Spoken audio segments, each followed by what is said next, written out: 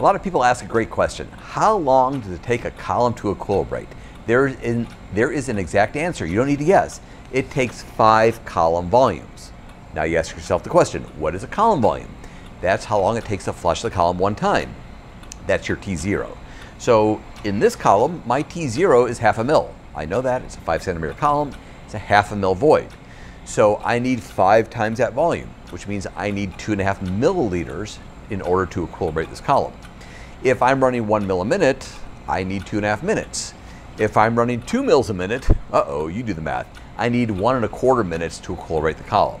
So you should do the math for real every time you're running and decide what your equilibration time should be based on the volume of your column. So 25 centimeter column, two and a half milliliter void volume.